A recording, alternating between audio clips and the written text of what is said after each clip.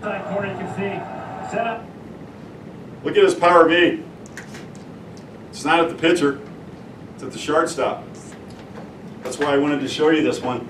You see, guys, if I want to hit a ball right down the middle, okay, my, I'll fire right here, contact will be here, my power V is here. If I want to hit a pitch outside, the ball has to get deeper. I rotate less, I fire here, contact is here, the power V is here. That's what you see in that picture. The power V is off center. It's over the shortstop's head. That's another issue is, is when we take batting practice, how do we practice hitting pitches in different spots? And then ultimately, how do you apply that to the game? Because not, not when, we- when they're 10, we don't worry about that, but when they're 12 and 13, it's time to start thinking about those things.